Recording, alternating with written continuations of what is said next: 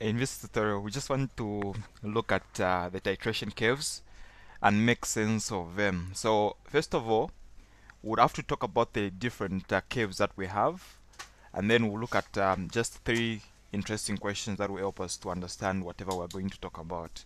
So first of all what is uh, a titration curve?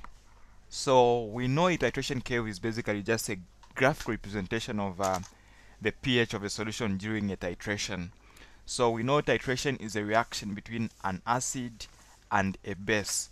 So we're trying to observe the changes to our pH as we get to either add an acid to a base or a base to an acid. And of course, we know that we have what we call strong acids, weak acids, strong bases and also weak bases. So those diagrams or those different titrations get to give us uh, different curves. Okay, so now if you look at this curve that we have here, what are we able to see?